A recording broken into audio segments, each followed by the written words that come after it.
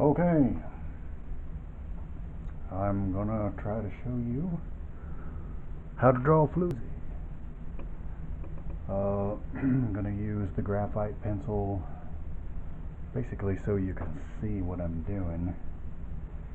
Now then, um, I found that uh, doing what the animators do and, and drawing a sort of uh, structural underdrawing first is really the key to having your characters look consistent from one to the next. I mean, if you're going to draw characters, and also the you know the this the, the Jack Hamm uh, female figure construction technique.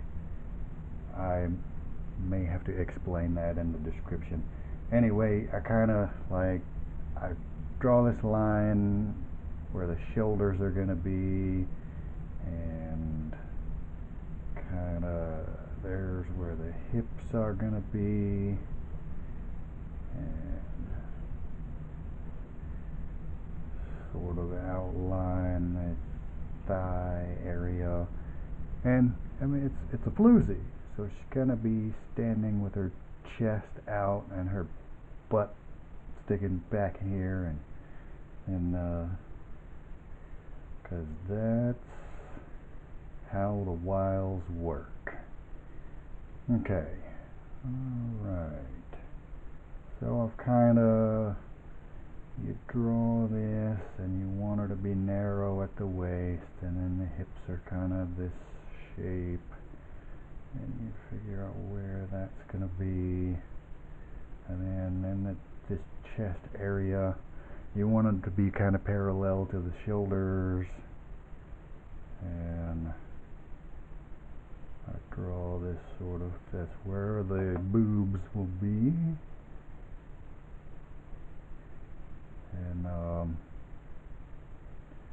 in the world of, of cartoon gender dimorphism. Uh, girls have long, slender necks, so you can go ahead and do that. And uh, let's see, that kind of, and it helps when you're doing these, the sketching beforehand kind of gives you an idea of where everything is going to be so you can get the proportions and not like run off the edge of the paper one way or the other.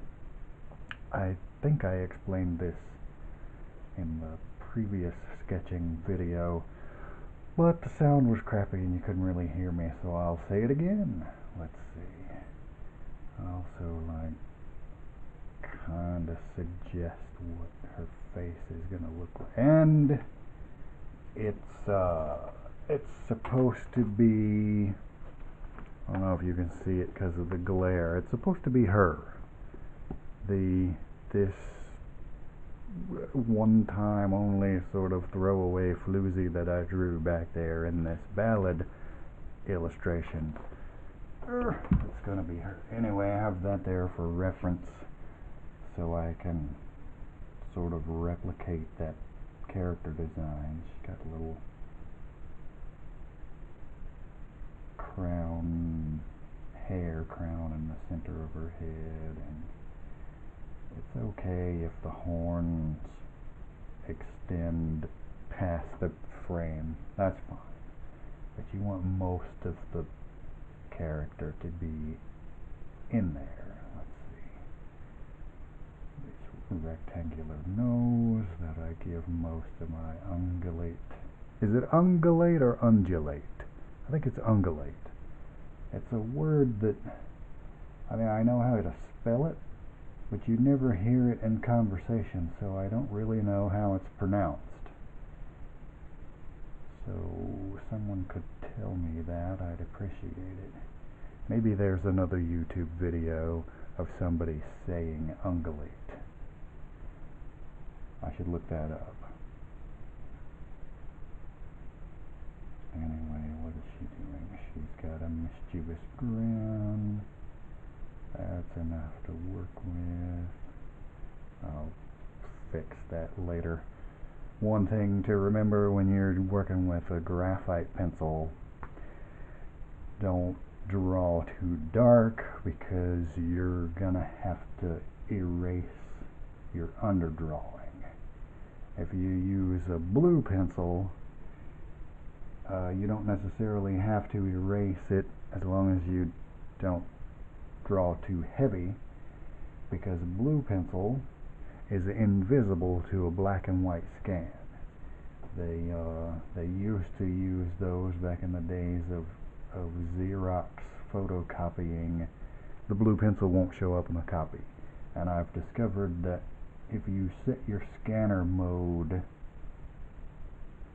to sort of emulate that strict black and white bitmap scanning, the blue pencil will be invisible to the scanner. And that means that you don't have to erase your pencils.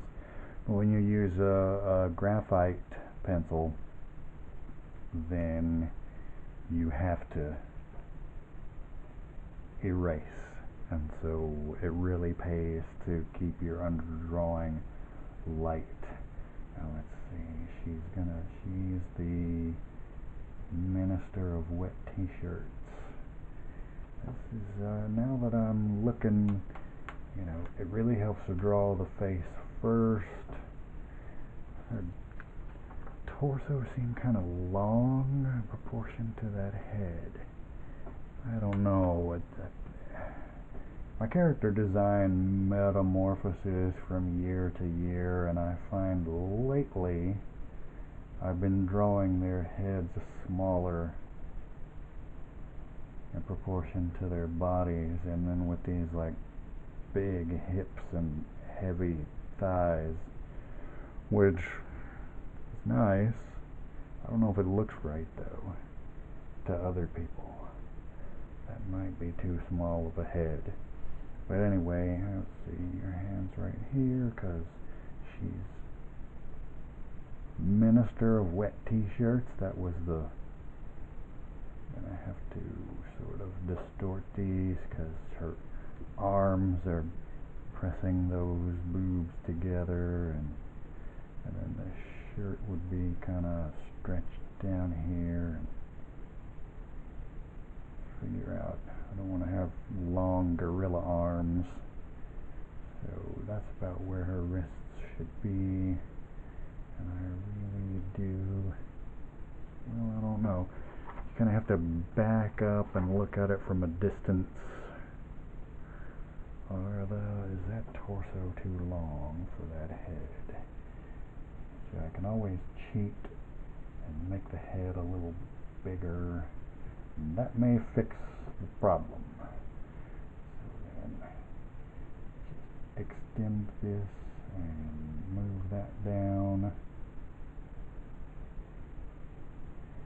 Her eyes are sort of high, so I can move them down too. And this is why we pencil first. Because then you can you can get everything right before you commit to ink. Ink is forever. Anyway, um, I don't want this to go on too long. But that's a, you know, that's a start. I also noticed that um, she's landed significantly higher than the bottom of the frame and then the horns running off the top of the frame. I might redo this. We'll see. But that's enough for now.